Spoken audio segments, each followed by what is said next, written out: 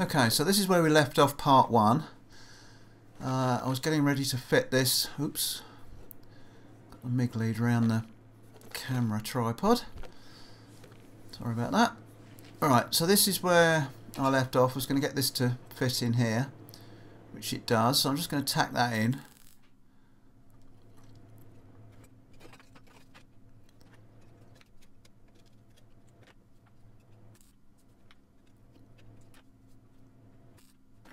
Right, now this has then got to have a gentle bend round so that the end, the other end comes around to the bottom of the jaw. So just trying to bend it round nicely with no sudden kinks in it. Get rid of that. And then this was the problem that I faced last time. That that gap is way too big. That's got a touch there. So, somehow we've got to pull this top down and try and get that to fit. I'm not quite sure how I'm going to hold it. I need to hold it that way around, but I can't really. These tongs aren't much cop. There's some heavier ones, they're better. It's not really going anywhere. It's gone a little bit, but not much. I can't quite figure out how to hold it down. If I hold it down there, it's not going to have enough room to get my tongs in to pull it down all that way. So, what are we going to do? Lump of wood, bit of 2x2. I'm just going to persuade it, shall we say, with the uh, rubber mallet or plastic mallet See how close we are now. Look at that. That's all it took. A few little taps. And that is pretty good now. In fact, the other side is gone too far, so I'm going to have to pull that out. Wouldn't believe that. Just a couple of little taps. Let's pull that down. I'll just pull it out again.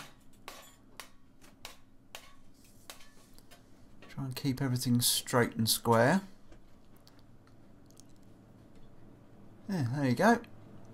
Just about spot on. Nice one.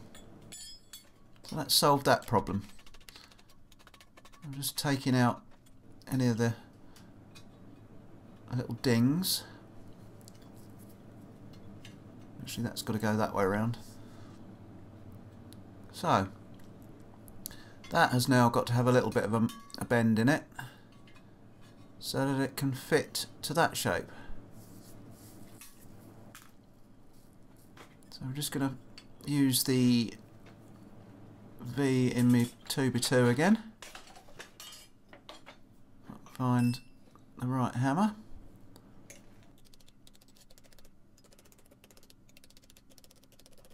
And this again, so that's bent actually it becomes apparent it's too much.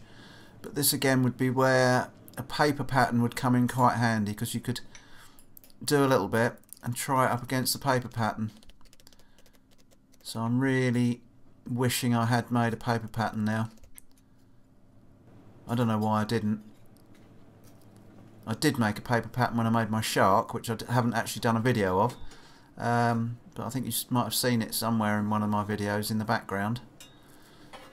So that one goes in there quite nicely. Again, I forgot to turn the camera on. So I'll see if I can show you with this one. What I did with the other one was left it um, overbent and then just gently pulled it back as I tacked it. This one's going to be a little bit trickier I think because it's because the, the uh, back piece is already rigid because of the other side K.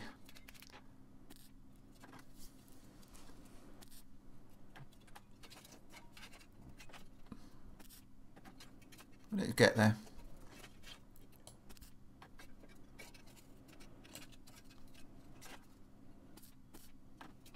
That's it. Straighten that up. And that's got it. Tacked in.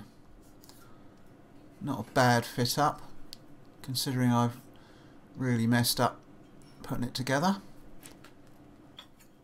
Right, so this bit, J, is because somehow I've got to go in there. I'm not liking the look of, it, look of this.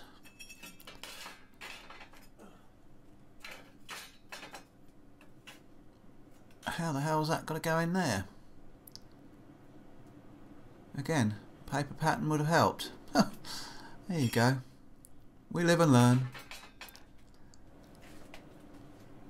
Right, so I've got it in, or got them in.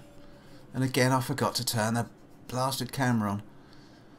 But it took some doing and I would liken them to the ears on the horse head. They were really tricky. They've got to go in several directions. But I've got them in. And I'm quite pleased that I've got them in. Um, without too much hammering and banging of everything else.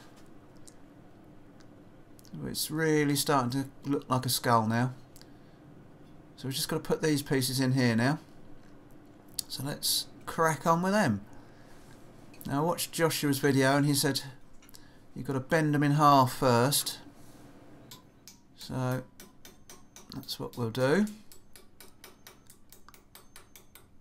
That might be a little bit too much, but we'll see.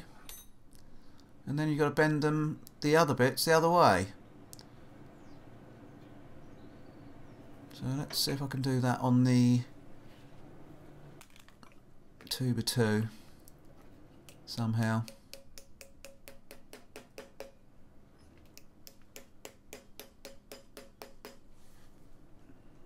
You end up with what looks a bit like a stylized bird. You'll see what I mean in a minute. That sort of shape. With a quite a V in the middle. In fact, it probably needs to be a little bit more than that. That's got to go in there. Actually, it's not too bad. Not a bad fit at all in there. So I might just, it's a little bit down there. That's not too bad. So I might just tack that in and fandangle the rest of it.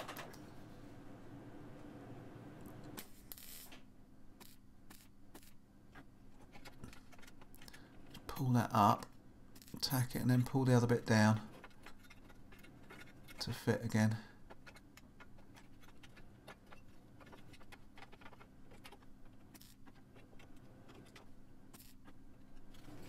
Done. It's gone in quite well. Quite pleased with that. I thought that was going to be real tricky, but it actually wasn't as tricky as the J.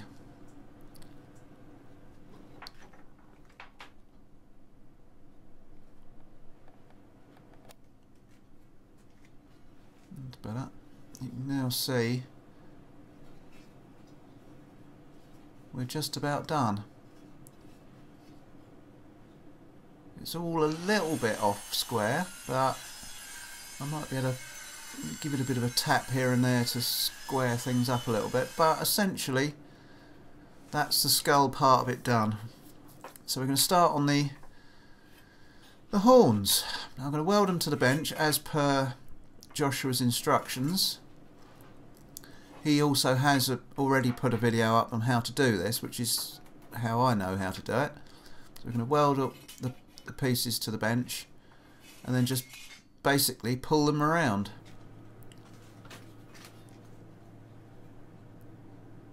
Now this actually turns out to be a little bit harder than I thought as well. And what I did wrong I think, well no, I don't know what I did wrong to be honest. I'll tell you what I did on this one. I just concentrated on part A, which is the long part I'm pulling towards me.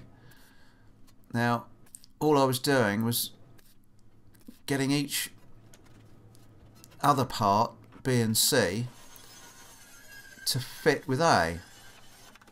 What I neglected to realise was that B and C have actually got to meet underneath to make the triangle.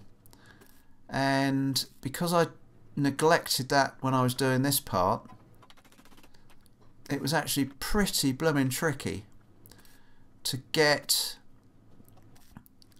um, B and C to meet at the bottom underneath.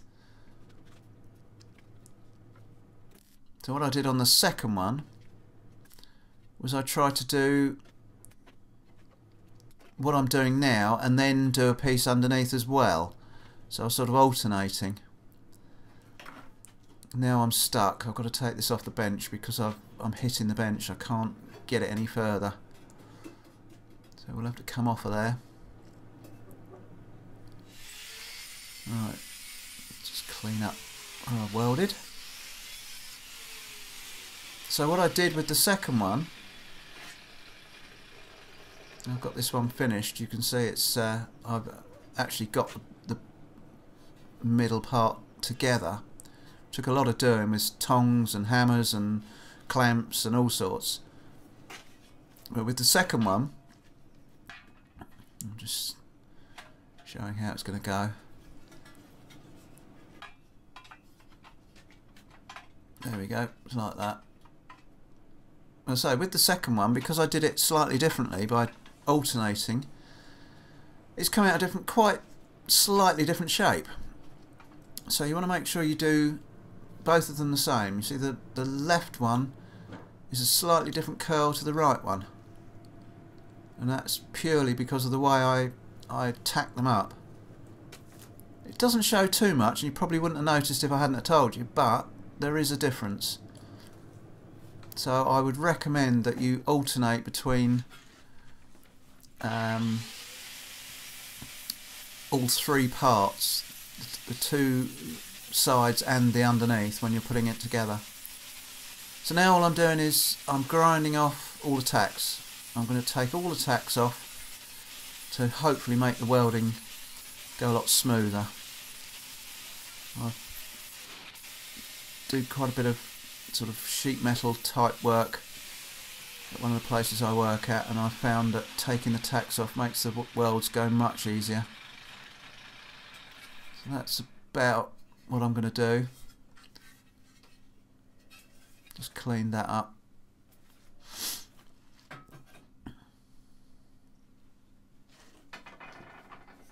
Just got to do the same with the horns now. Get in as far as you can with the, the grinder. I couldn't get in everywhere with it. But I've got 99% of it.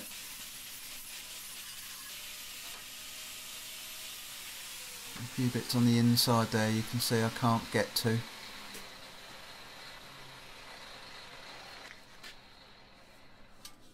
Right in there.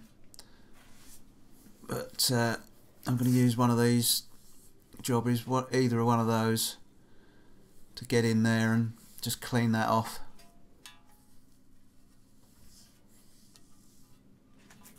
It should go in there quite nicely. Well, we'll see. Who knows? And hopefully it'll take off that nasty, sticky mess.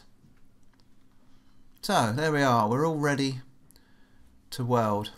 And I think I mentioned it in the last video. I'm going to TIG this one up, whereas the horse's head I actually migged up and although the MIG is much quicker and much easier I think the TIG is going to mean I have a lot easier time on the cleanup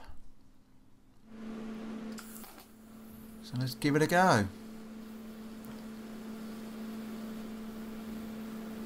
and what I'm trying to do on this is just fuse weld it where I can.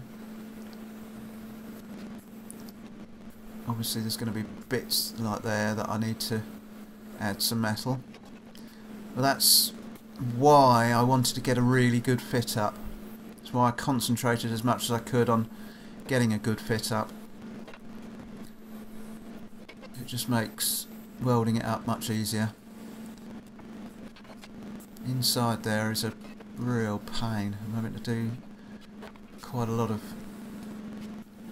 filling.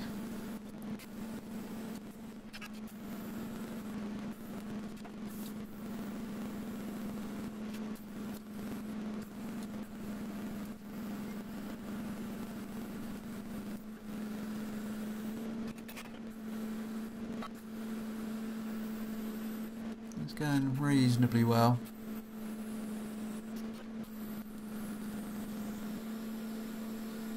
I think we're almost there.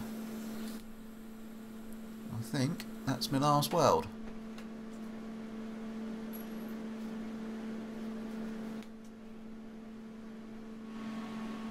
So there it is. All tigged up, ready to grind. You can see the TIG welding isn't the best in the world but as I say it's going to make cleanup much easier.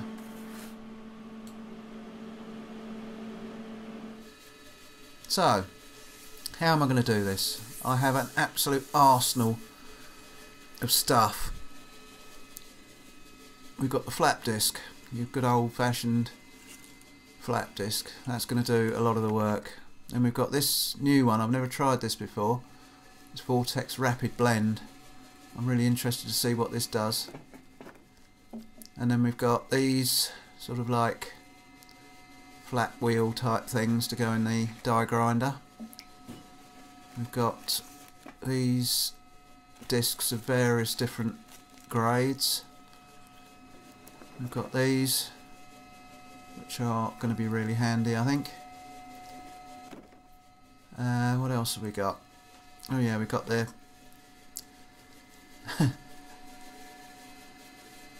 that uh, I can't think what it's called now, but anyway that and the air grinder with the Roloc discs, various different sorts. Got a box of them. They get in there quite nicely. And oh, of course, good old-fashioned file if we need it. Hopefully, we won't need to do too much hand filing. Uh, what else? Oh yes, I did forget. We've got some Scotch-Brites as well. These are 240 grit. We've got some various grits. Hopefully they will help. Also got this Chinese, it's a bit like a Scotch-Brite. It's 180 grit.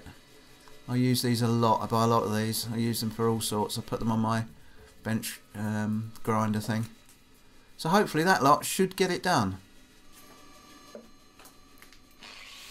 Let's start off with the good old flap disc.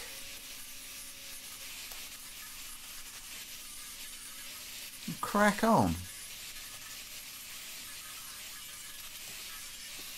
I'll sped this up, but there's still going to be quite a lot of grinding. So you might want to skip forwards.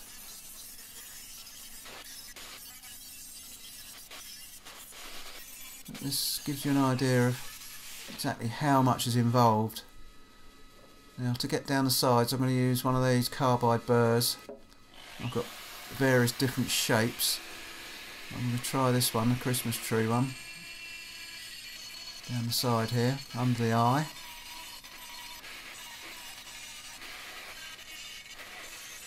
I think overall it's probably taken me about two and a half days to do this, I'm guessing.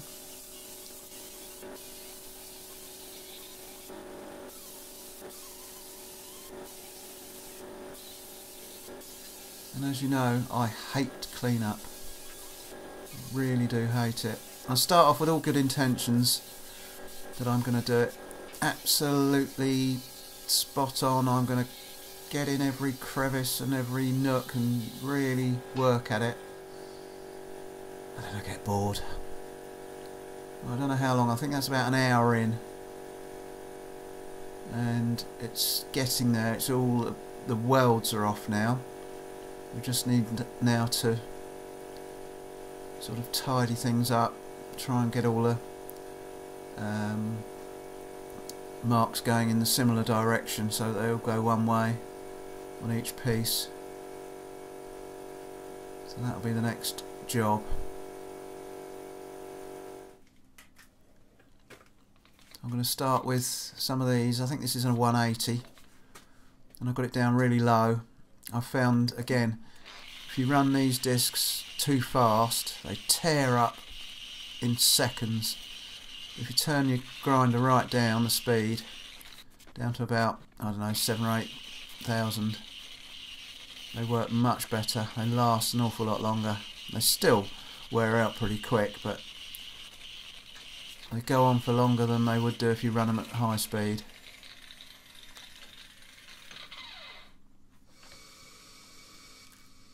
Right. So that's looking pretty good now. Not brilliant, but it's it's all I'm going to do for the time being until I've got the uh, until I've got the horns on. Once they're on, we'll uh, finish it right off. So I think that's the next job. Get on with the horns. Again, we're going to start with the flap disc. Get as much as we can with that. These are actually a lot trickier than I thought to get into.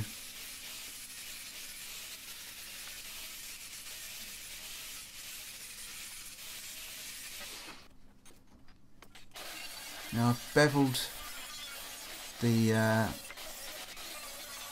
the joins. I haven't or rounded them slightly.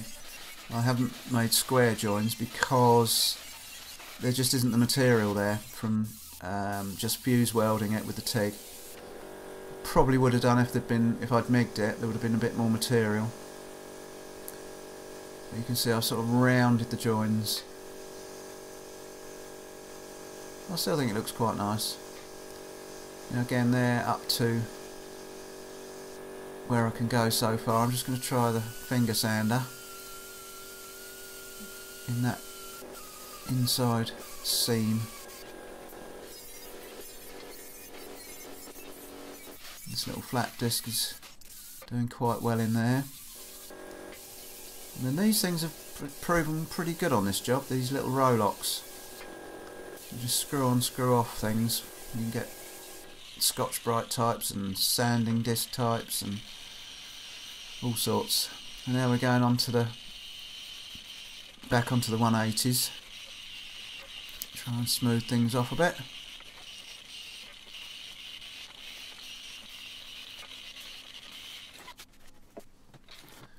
see how it tears the corners off if you catch it. That's all it takes is just to catch a corner and it tears those edges off.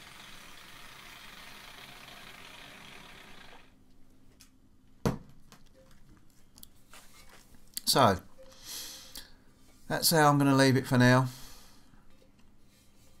It's still not brilliant and there's still marks in here where I struggled to pull the centre together, you know, what with um, tongs and hammers and clamps and things. But uh, it's pretty good. Both of them aren't too bad. And I can't think how many hours this is so far. I can probably work it out. I started about half past ten. It's now about half past two. It's taken me a fair old while. So we're on the last stretch. Attach the horns.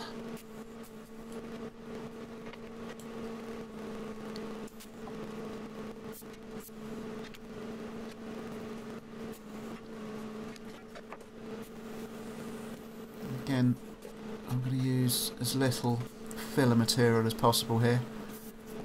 Although across the top I want to put a fair bit in because I want to blend them nicely.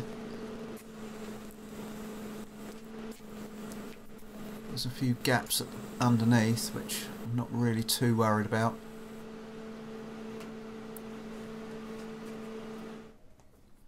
So done. Again, you can see the horns aren't quite level. One's a bit higher than the other. I'm going to clean that off.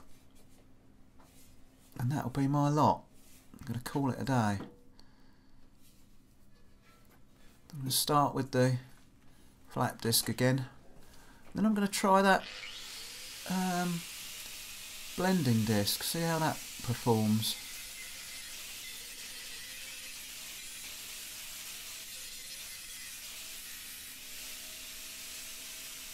Pretty good so far. Let's try the other disc.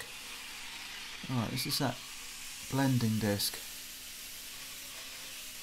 It's actually rather nice because it sort of conforms to the material but you can get quite a straight line with it.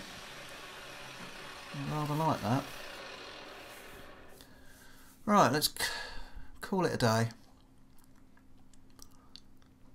You can see it's not quite square. The left one as you're looking at it is a bit higher than the right one and it's curled in a bit more.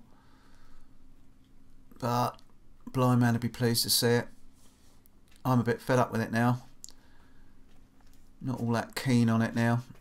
But I think that's purely because I've spent the last God knows how many hours handling it, clean, trying to clean the damn thing up.